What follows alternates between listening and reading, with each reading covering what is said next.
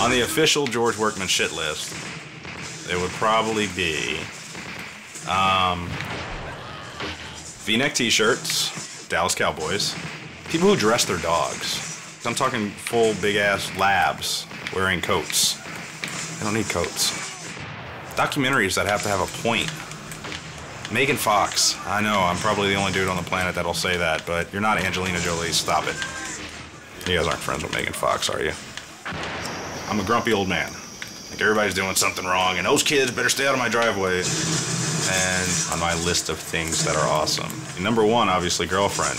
Number two, my 76 Bronco. Number three, New Orleans Saints.